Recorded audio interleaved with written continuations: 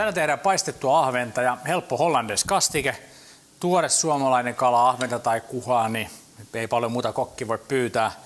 Tämän kalan käsittely vielä ruodottomaksi hyvin yksinkertainen juttu. Te ostatte kaupasta sen kalafileen, niin pienet pystyruodot tässä on aika teräviä, että sen takia ne kannattaa poistaa. Muun muassa pikku siikaa voi vaikka ihan ruotoinen päivinä syödäkin, mutta ahvenessa nämä ruodot ja kuhas on aika, aika terävät, niin otetaan näin viilto molemmin puolin.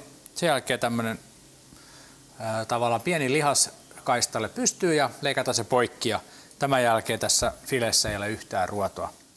Kalan maustaminen voi tehdä kahdella tapaa, laittaa suola ja pippuri näihin filepintoihin tai sitten tänne jauhotuksen joukkoon. Jos enempi näitä jauhottaa, niin kannattaa laittaa tänne.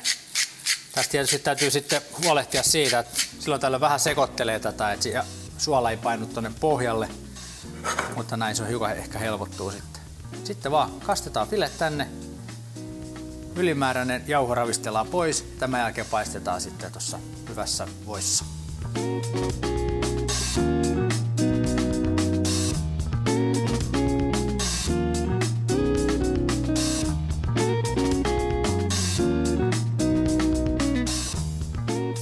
Kalat on valmiit, otetaan ne pois tuosta levyltä ja sitten tehdään sitä hollandeesia. Nyt on sellainen nopea tapa tehdä. Tästä monta erilaista reseptiä. Ehkä kaikkein nopein tapa on se, että otatte tällaisen pussin, avatte ja lämmitätte. Mutta jos haluatte sitä itse tehdä, niin silloin tässä on yksi versio. Eli tämmöiseen johonkin kulhoon, mikä pitää hyvin lämpöä, ja millä pystyy sauvasekottimella sekoittaa, niin laitetaan ensin kolme keltuaista tuonne pohjalle.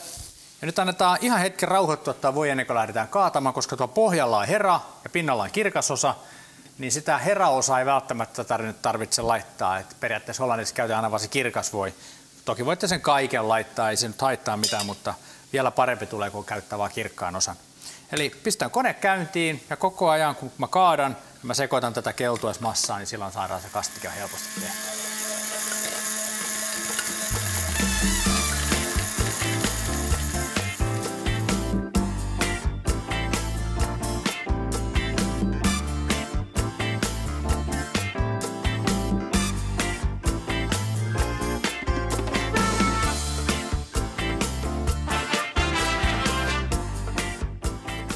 Laitetaan kalaa vielä yksi kolme filettä, aika hyvä määrä. Ja nyt mä pistin hiukan salattia myöskin, niin tulee vielä entistä terveellisempi.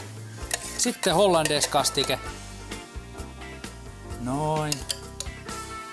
Tämä oli kuulkaa aika merkittävä päivä. Tasa viisi vuotta sitten me aloitettiin tekemään Mitä tänään syötäisiin ohjelmaa. Se on pitkä aika. Siinä on hieno osa suomalaista ruokahistoriaa ja se vaan jatkuu. Nähdään jälleen huomenna. Moi moi!